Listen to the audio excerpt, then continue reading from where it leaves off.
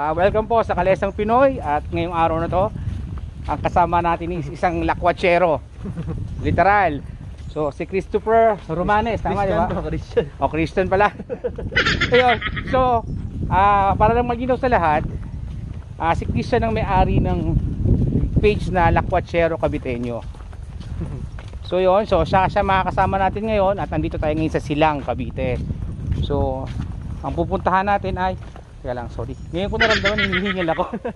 so yun, ang pupuntahan natin ngayon ay isang, actually locally, kilala tong lugar na to as Cabag Cave. Pero ayon sa research ko, ah ito ay mas kilala na Luksuhin Natural Bridge. So, ano ba, bakit so naging natural bridge? So mamaya, pag-usapan natin yan. Sa ngayon, ah medyo mahaba-haba yung lalakarin namin. Do, buti na lang kasama namin si ayun, si Kuya Mario. Siya magiging tour guide na ah, magiging tour guide namin dito. So ayun. Hinihingal ako. so mamaya balikan namin kayo. Ah, sabi kasi maganda daw talaga tong lugar na to. So tingnan natin. Okay, balikan namin kayo mamaya guys.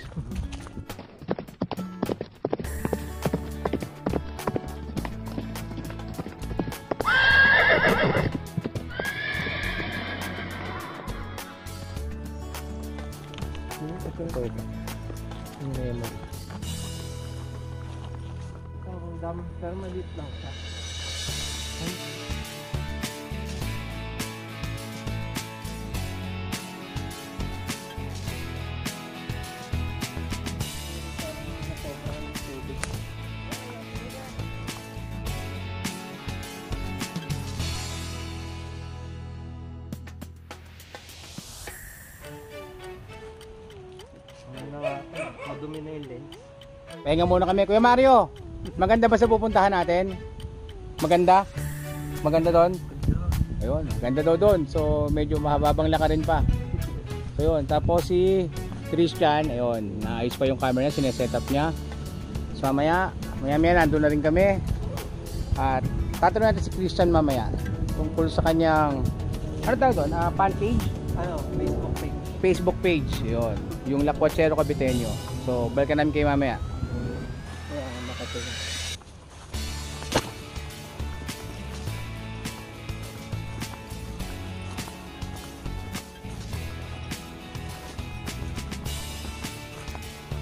Baka yan yung lulu ko rin. Ganda mo. Mga video. Oo. Nakuha na ako. Ano siya? Ano? Sige. Gana ka? Ibig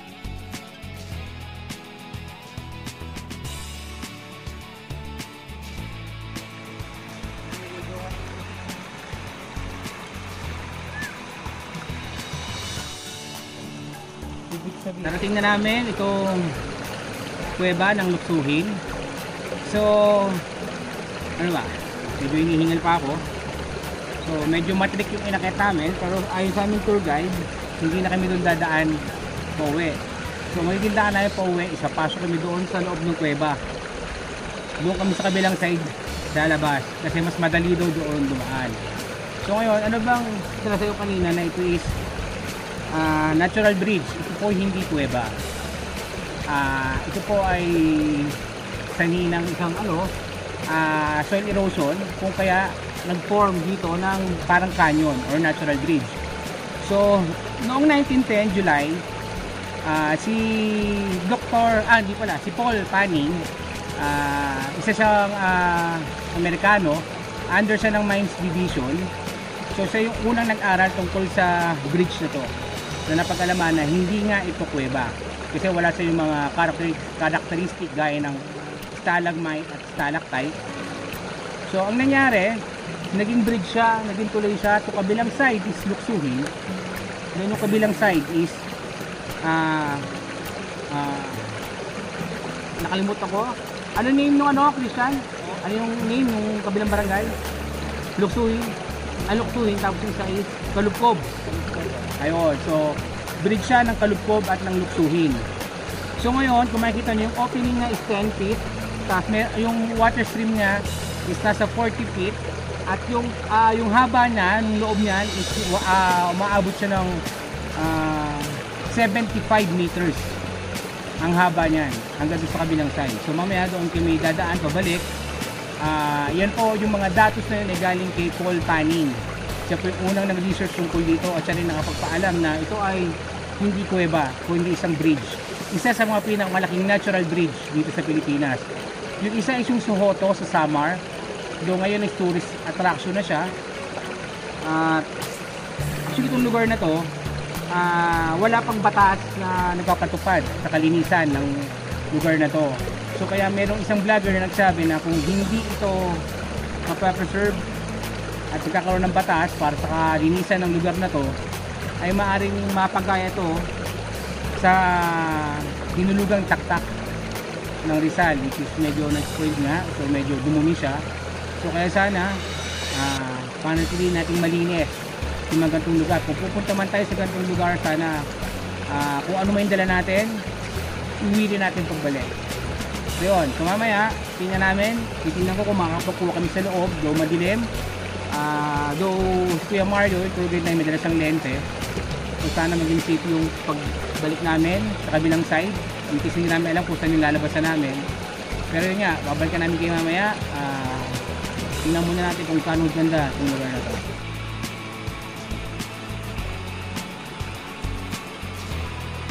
Dagdag ko lang, ah, papunta rito, magte-trekking kayo ng halos, ah, sabihin na natin isang kilometro, pero ayon sa ano, ito is 0.68 lang. Pero dahil may mga kalsada na rin, so tingin ko yung mas malapit lang. Pero ang naging problema ay yung pababa rito.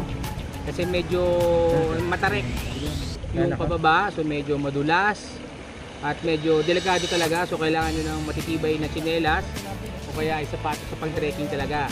So itong Kabag Cave, kaya sa kinawag na Kabag Cave ng mga local dito is dahil nga paghapon is maraming kabag na lumalabas mula doon sa loob ng kuweba. So, pero hindi siya gaya ng ibang kuweba nga na yung mga stalagmite, stalactite.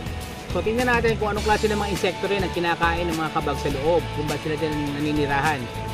So, pangunahin daw ng mga produkto sa barangay na to is papaya, nyog, pati pinya. So, actually doon kilala talaga yung silang pagdating sa mga produkto na yon. Tagang kung mga sariwang mga pinya or buko ang gusto nyo at papaya, tagang dito sa silang ang number one na, na produkto nila ay mga ganyang klase ng prutas. So, mamaya papasok tayo sa loob. Ah, mamaya kausapin din natin si Christian aka Christopher. Christian lang talaga ng Lakwachero Caviteño. Ah, kwentuhan tayo tungkol sa page niya. At alamin natin ah, kung, kung paano ba naging success pati yung mga struggle niya sa pagsisimula ng kanyang page. So hintayin natin siya, medyo busy siya. Ah, hindi ko alam kung maliligo to o ano. Pero mamaya, babalikan ko kayo. Kasama na natin si Christian. So siya yung may-ari ng Lakwachero Caviteño na page. So yun, so kwento mo naman sa amin paano ba nagsimula yun? Ba't mo naisipang gawin yung page niyo? Ayun no, eh libangan ko lang talaga. Hindi ko naman siya inakala magdadami ng gano'n.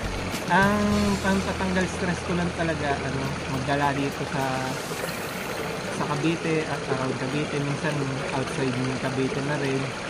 Parang personal vlog ko lang siya. No, para ma-document mo, at least may remembrance ka ng bawat lugar. May remembrance ako ng bawat lugar. Eh yun, awa ng Diyos, suma- lumaki. So, so sa kasalukuyan ilan na yung ano mo? Ano ba? Followers ba? Subscriber? Ano ano, likes and follows. Ayun, yung followers mo. Ano? Ano na, nasa 42,000 na higit lang. Ayun. So, 42,000 mahigit na. So, sa page niya, so, minsan nakikita ko to eh. Ah. So, mostly ano to, mga pagkain kabitenyo, Mhm. mga historical house, Oh, historical. historical bridge. Mhm. Nakita ka sa ah, member ka rin sa ano eh, anong group yun? Sa Bintana. Ay, oo, yung... Yun, so andun din ako. Yung sa mga Bintana. bintana. So yun, nakikita ko siya minsan doon. Aha. So yun, actually maganda yung isip mo na i-preserve yung mga ganung bagay dahil maaaring dumating yung time na hindi na makita pa ng mga kabataan. Yung nga eh. So mahalaga na na nakuha na muna at na-document mo na yung mga ganung bagay. Kaya, So yun, so sa mga darating na pagkakataon ko siguro, baka makasama pa natin si Christian sa mga ibang mga vlog na gagawin ko. Ewan ko ba, ba't ako gagawa ng vlog? Hindi man ako vlogger. Pero yun, baka makasama natin siya sa mga ibang gala. Mhm. Pag libre ako, libre siya, tapos nagkatugma yung schedule namin. Mm. Bakit hindi, di ba? Kaya. Pasyal tayo, pupuntahan ng mga ibang pang lugar dito sa Cavite na mahalaga na makita at Mhm. habang buo pa't nandiyan pa is makita ng mga ibang kabataan. Kaya napakarami pa dito sa Cavite. Hindi Yun. niya mabibilang sa dali. Napakarami gaya nito, itong Cabot Cave na to is ah, actually tingin ko hindi lahat ay Mhm. ng Caviteño is aware sa lugar to. Actually yung lugar na Bailin, kwento ko Ah. lang, Kaya. hindi lahat ng mga taga Cavite ay alam na mayroong bayan ng Bailin. Oo. So yung isang bagay na nakakatawa dito sa Cavite, hindi alam ng mga ibang taga Cavite na merong lugar na ang pangalan is Bailin. Ito Aha. is isang bayan to. So maganda rin. So sana, Mhm. pag nagtugma yung schedule namin, papasyal kami doon ni Christian at papakita namin sa inyo. Mhm. So, pero doon, ah, ganito rin pala. So actually yung trekking natin dito, nakita ko yung hirap mo kanina. Actually hindi lang siya. Pati ako, pinauna ko na siya para kung mahulog man ako, hindi damay-damay na to, no? so yun guys, so kasama natin si Christian, tapos mamaya, punta kami sa taas, ah, abangan nyo kami sa Kalaisang Pinoy, Mhm. malimit, baka makita yung kasama ko doon si Christian, Mhm.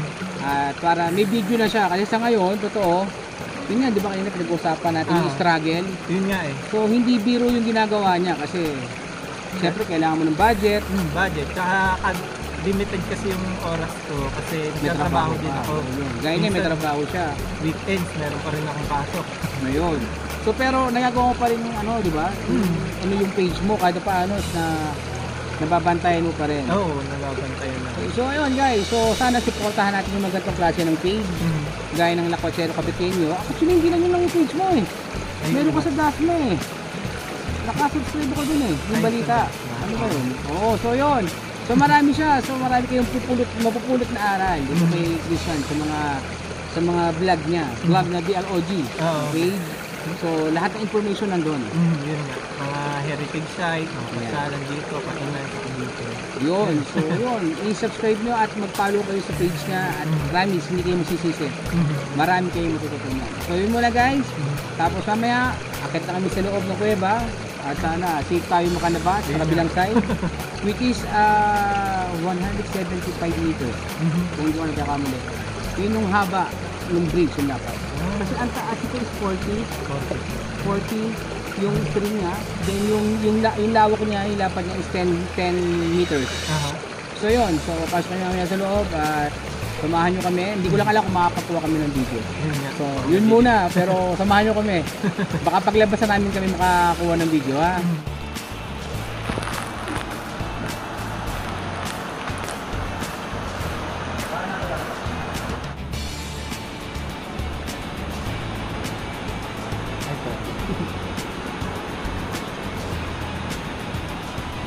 Guys, yan, okay. Yan, kapasok naman sa loob ng kuweba. So, nilaktaw ko kanina yan. So, medyo nakakatakot. So, pero yun, okay, nakapasok na kami. So, mahababang lang ka rin kasi kailangan namin pumunta sa kabilang side ng kuweba or ng bridge. So, yun guys, ah, hindi na muna kami bibidyo kasi medyo madilim sa loob. So, sana makalampas kami ng safe naman dahil medyo mataas ang mga uhulugan, pati matatalas yung bato. Nakatawid na kami sa kabila. So, madali lang. Kung ilang ilang tumbling lang pati split. Ito na kami, kabilang bungad ng kuweba. Yan, so ando pa si Christian sa loob, nagkukuha pa. So, medyo mahirap, madulas. Pero worth it naman, nakalabas kami ng ayos.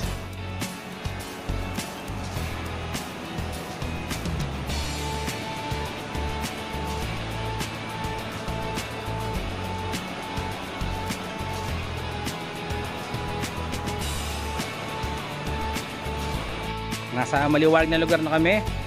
Tapos kanina, napansin namin sa loob, may mga kasama kami sa loob ng kuweba na tumatawid din. So inisip ko kung, kung bakit sila tumatawid din sa loob. So doon ko na pag-alaman kasi dalawa lang sila eh pero marami sila. Yun pala kaya sila nagpunta dito is dahil meron ditong mga bukal ng tubig. Yan. So dahil marami silang grupo doon, hindi sila kumuha ng tubig. Yan, para meron silang inumin. So yun, ganun kasarap dito. So kahit nasa gubat ka, basta resourceful ka, hindi ka mauuhaw at hindi ka magugutom. So yun. Ah, pakita ko sa inyo kung saan sila kumukuha ng tubig na may iinom. Ha? Ayan, guys. Ayan. Dahil yan ay bukal, dahil silang kumukuha ng maiinom na tubig. Yun, so hindi mo na kailangan magbawa ng tubig. Pwede ka nang uminom dito. Yun, andyan na rin si Christian sa likod. So yun, namaya, balikan namin kayo pag medyo kasi malayo-layo pa yung aming akyatin, pabalik. So balikan ko na lang kayo.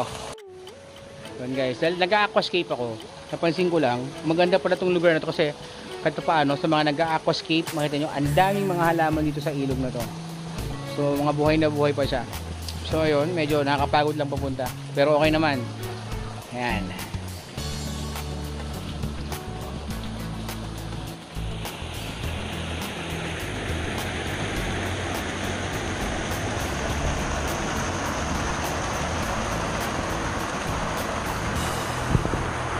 So yun, nakakit na kami. Ah, medyo pahinga muna kayo ng, kami ng konti. Kasama ko pa rin si Christian. So yun, ah, medyo matarik yung inakit namin. Medyo nakakapagod. So Christian, ano masahe mo sa pinuntahan natin? Maganda. Sakaba Cave. Maganda, di ba? Pati minsan yung kagandahan, ma-appreciate mo pag pauwi ka na eh. Ayun nga eh. Makikita mo yung ibang daan na yun nga lang, walang space para tigilan. Ayun nga eh. Pero maganda kung sa maganda. Pati nakita ko, Christian, ano kaya, no? Dahil lakwatsero siya, pero meron siyang ibang klase ng disiplina. Napansin ko, yung mga basura namin, kahit mga bote, kusa niya kinukuha sa akin. Mhm. So, ang kanya, iuuwi niya pa rin kahit yung mga basura. Mhm. So, kasi minsan yun yung nakakalungkot na bagay, di ba? Oo, nag-iniiwan sa ano. Iniiwan na lang yung mga basura, hindi nila inuuwi. Pag may Kumbaga- nagpunta sa isang lugar, iniiwan nila yung mga basura nila doon, yung Yeah. kalat. Parang ano lang yun eh. Bumisita ka sa isang bahay. Oo. Eh, hindi ka lang, hindi ka mag-iwan ng kalat sa bahay na binisitahan mo at nakakahiya sa may-ari. Tama. So dapat dapat ganoon yung attitude natin, Oo, no? kahit Dapat sino. dapat kasi talagang imbis na magkaroon tayo ng mga patakaran o mga bawal o ano, dapat Oo. yun ang itanim sa mga tao eh. Mm. Isipin nyo na bumisita kayo sa isang bahay Mm. at kung may kalat kayong dala, huwag nyo namang iwanan doon sa Oo. bahay ng iba. So yan guys, so yun, sana minsan ah, puntahan nyo rin tong Cabag Cave or isa sa mga pinakamalaking natural bridge dito sa Pilipinas. Pasyalan nyo. So, worth it naman yung, yung trekking. So, adventure din masaya, di ba? Oo. Matcha-challenge kayo. Actually kanina, medyo natakot akong tumawid kasi alam ko naman itis lang eh. Mhm. Pero ano eh, ma- ma- Madulas. malalim. Hindi, Oh. malalim yung Ayun, hulugan malalim. mo tapos madulas. So, Madulas nga eh. pero yun, challenge, dagdag ah, adventure. Mhm. So, kasama sa mga mga bagay-bagay na kailangan nating maranasan sa ganitong klase ng trekking. So, yun.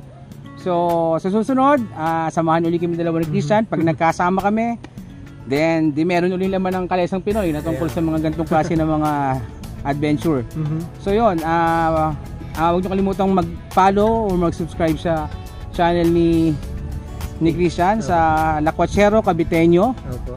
At yun, at huwag nyo na kalimutan mag-like at mag-subscribe sa Kalesang Pinoy. So yun, so dito muna kami, pahinga at mag-ayos ng gamit. Then uwi na rin kami. Bye.